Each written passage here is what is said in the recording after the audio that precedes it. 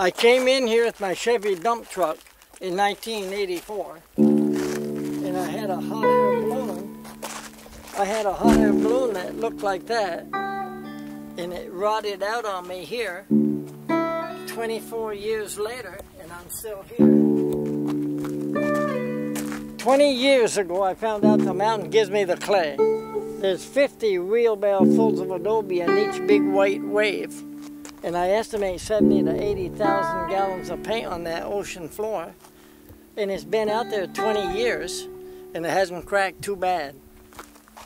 About 11 years ago, the farmers gave me 100 bales of hay in that little green igloo. I made it out of 100 bales of straw.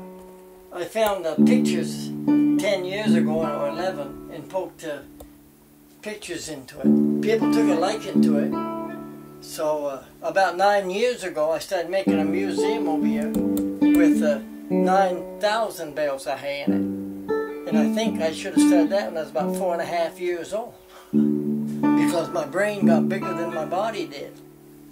Here's a tractor tire, handmade tree. I made it with a wheelbarrow.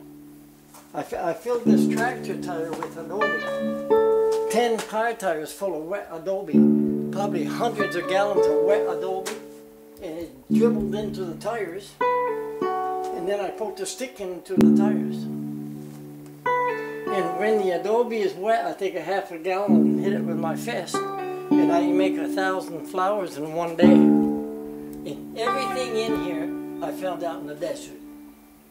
And every time I go, need something, I go in the desert and find it. I make it, I made them for fun at first, but there was a crack in that crotch and it was a kind of flimsy.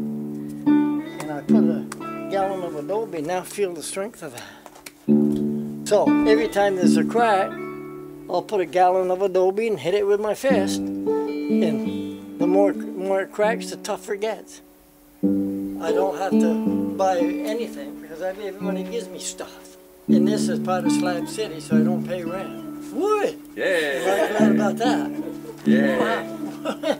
so every, everything is practically given to me. Gee, I, I feel spoiled rotten. I think I got it made in the shade.